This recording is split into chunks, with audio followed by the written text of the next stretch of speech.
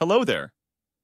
This video will provide a step-by-step guide on how to access and analyze Kahoot story reports.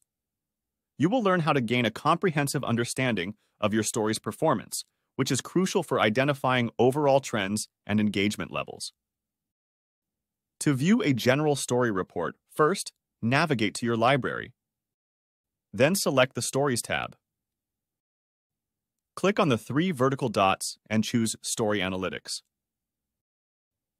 This will provide a monthly view of how frequently your story has been accessed.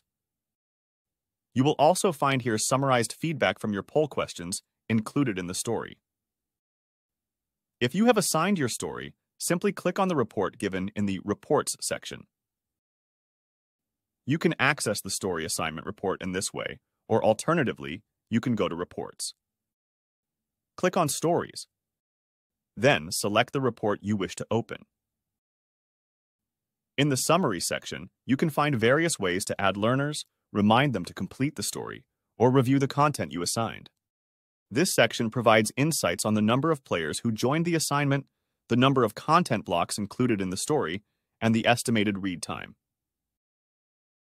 You can also see who marked the assignment as read and who didn't. The percentage of learners who have completed each task and their answers to your poll questions are here too. The Engagement section provides insights on views per block and key insights. It also displays all the blocks included in your story and how many learners viewed and interacted with them.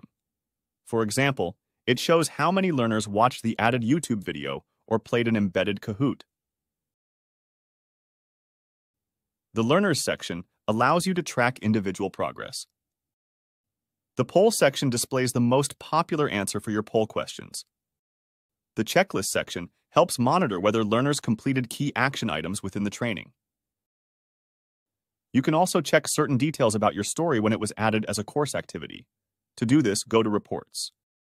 Select Courses. And choose the report to view.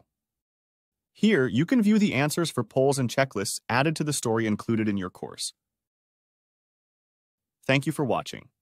Don't forget to leave a comment, give us a thumbs up and subscribe. Enjoy Kahooting!